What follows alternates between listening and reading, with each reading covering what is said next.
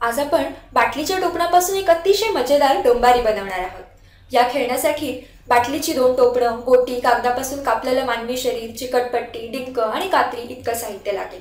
आता दोन्ही टोपणांच्या मध्ये गोटी ठेवून टोपणं चिकटपट्टीने घट्ट चिकटवून टाका. टोपणांच्या आतील बाजूस मोकळ्या जागेमध्ये गोटी अगदी सहजपणे घराघरा फिरू शकते. आता एका रंगीत कार्डशीटवर माणसाचं आयताकार शरीर बनवून त्याचे पायही कापून घ्या. इथे आपण अगदी सोपा आणि सहज असा आकार बनवला आहे. आयताची रुंदी साधारणत अशी ठेवा जेणेकरून ती दोन टोपणांच्या मधील जोड भागावरती व्यवस्थित बसेल. नंतर डिंकाच्या मदतीने कागदी शरीराचा भाग टोपणांभोवती चिकटवून टाका.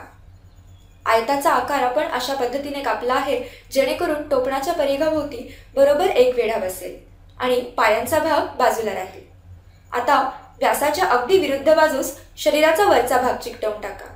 म्हणजे आपलं खेळणं बऱ्यापैकी तयार झालं.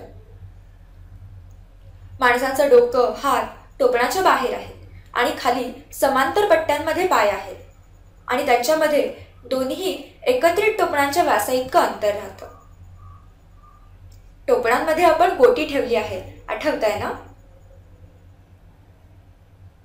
त्यामुळे जेव्हा आपण इथे थोडासा धक्का दिला तर सिसॉप्रमाणे हा माणूस खालीवर होईल. आता हे खेळणं थोड्याशा उतारावर ठेवा आणि या घसरगुंडीवरून सरळ खाली सोडून द्या. आणि मग बघा हा माणूस कोलांट्या उड्या मारत घसरगुंडीवरून खाली येतोय असं दिसेल. याला आणखीन वेगळेपण आणण्यासाठी तुम्ही तुमची कल्पनाशक्ती वापरा. जसं इथे साध्या आकाराऐवजी छानसा रंगीबेरंगी कागदी जोकर कापला आणि तो टोपणाभोवती चिकटवला आहे.